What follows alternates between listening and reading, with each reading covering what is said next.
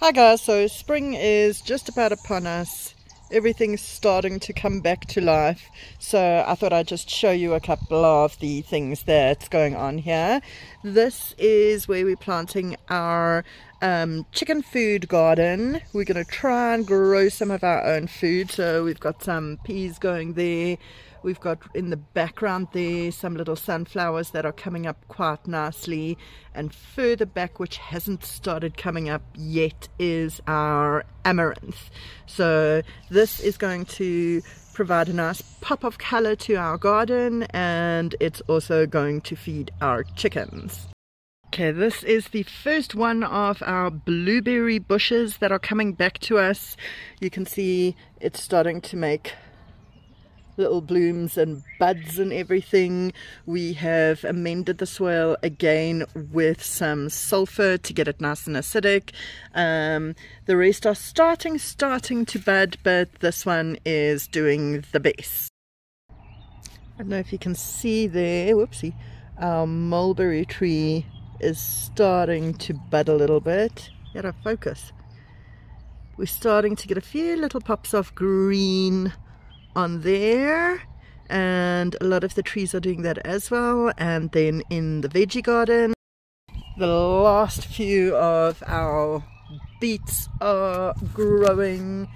We've got our spinach whoopsie daisy still from winter that's coming up nicely. We had an absolutely brutal winter this year so my poor winter crops had a major knock. You can see here there's some baby little clusters of spinach growing.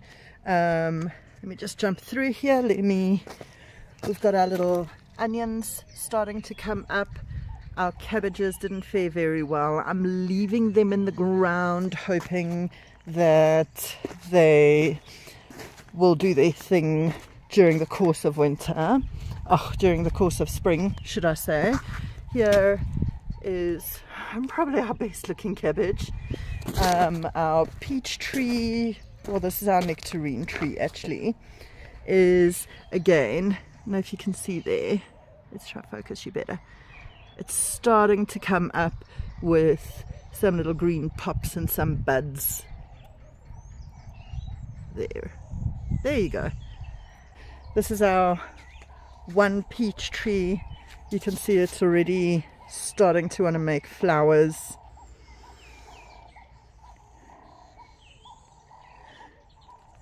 Here's our other peach tree. Also starting, I don't know if you can see, let me see if I can zoom in there a bit and get some of that pink for you. There you can just see the pink little tips on the buds that it's wanting to start flowering. And then on the animal side, most exciting, as I was saying, on the animal side, we have two mama hens with their little babies.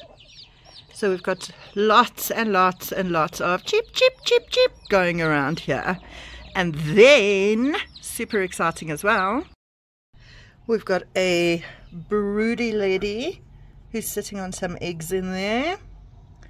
Our hens have started laying beautifully. I actually picked up 17 eggs this morning, um, which was fabulous.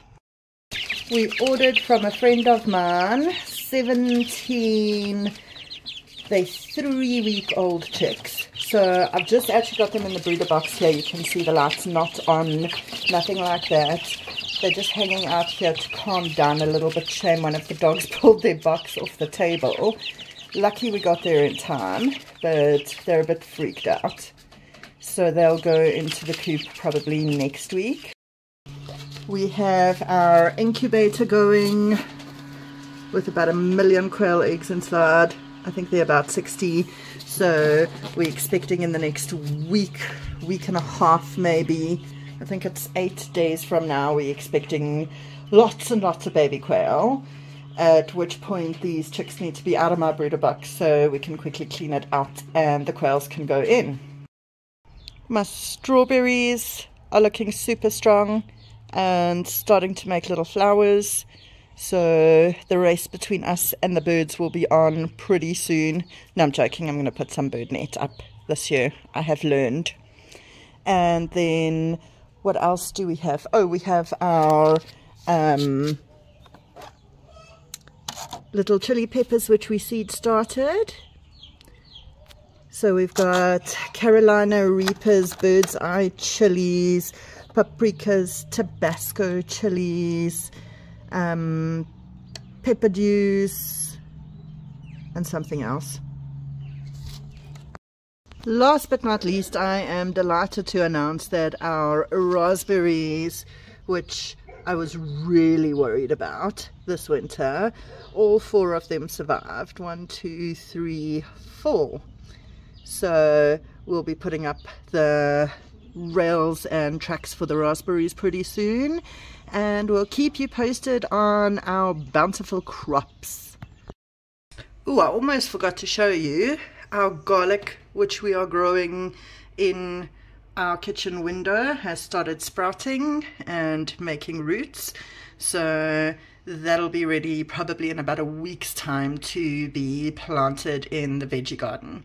Guys, thanks for watching. Please like and subscribe to see how things go along in the veggie garden.